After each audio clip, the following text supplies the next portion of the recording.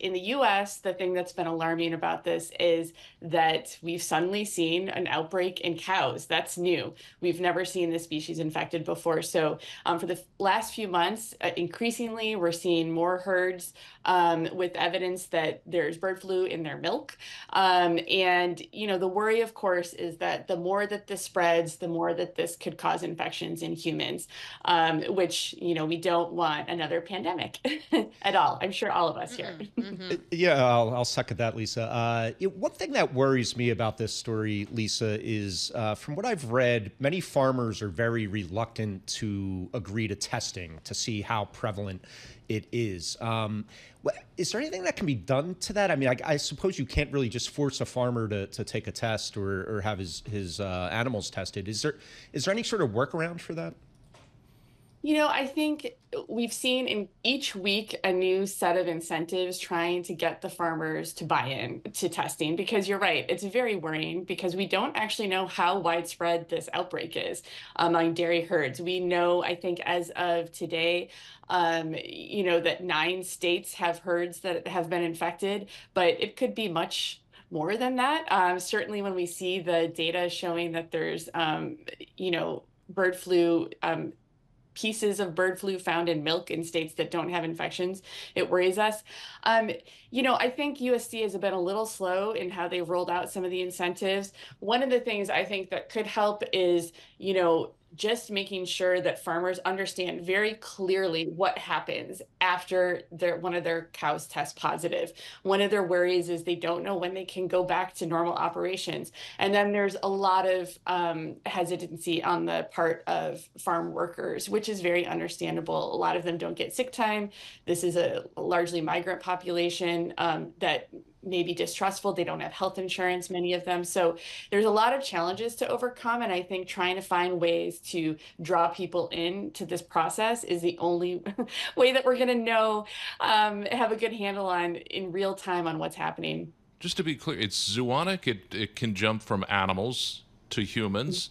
Uh, and then can it go from human to human transmission?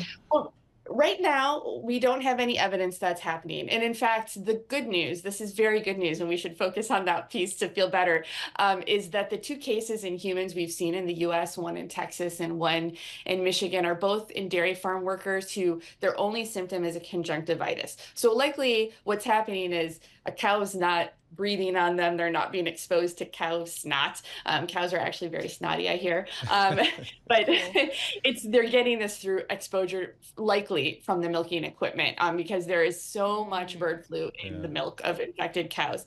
Um, but you know what? That's the thing we want to look for when it gets easier for a human to be infected from a cow. When it gets easier for a human to infect another human, and that's why it's so important to have a handle on the you know breadth of the outbreak and in real time where infections are happening. This time of year i'm pretty snotty myself so i can i can sympathize with the cows. We understand. Yeah. Yeah, yeah. yeah. yeah. We, we, it's the allergy season man. um i was interested though there was a piece on the bloomberg this week. Um that shares of vaccine stocks, though, were moving on this. Apparently, um, Moderna shares were up, Pfizer shares were up. There was a report that companies are in talks with the U.S. government about the development of vaccines uh, for bird flu. Shares of CureVac, for example, they have a bird flu vaccine in early stage testing. What did you? Is this just like meme stock hype, or is this a real thing? you know, I think investors are getting a little ahead of themselves. However, you know, um, ASPR, which is the kind of part of HHS that takes care of you know preparedness and and manages our stockpiles. Did say this week that they had moved um, the ingredients for making 4.8 doses of vaccines to a manufacturer and uh, to put those into vials so that we would have them just in case. Um, and that doesn't mean that even the just in case would be everybody. Probably if a just in case happened it would be farm workers. Um, but um, they also said that they were in talks with Pfizer and Moderna. Now the good thing about mRNA is that if the virus changed to more easily infect humans, um, it might be that the vaccine we have in our stockpiles isn't quite the right match. And mRNA, as we know from the pandemic, allows some flexibility there. But I do think folks are getting ahead of themselves um, and you know maybe getting excited that there could be a way to fill some of that capacity that no longer is making COVID vaccines. You know, Lisa, I wonder uh, obviously for financial markets, inflation is such a big issue still, food inflation especially. Are we at risk of seeing a situation where massive amounts of cows or chickens are slaughtered uh, just to stop the spread of this virus? Think so. Um, well, certainly with poultry, that's kind of the dairy and poultry industries operate very differently, and poultry farmers are well, very familiar with bird flu, and they have a lot of biosecurity in place. And part of it, part of the reason they have biosecurity in, in place is that USDA has put a lot of, you know, kind of uh, rules around how they can be reimbursed um, in order to contain a bird flu outbreak. When it comes to the cattle, you know, so far infections are mild. And so um, I think what we need to understand is how long um, an outbreak will be disruptive in a particular herd.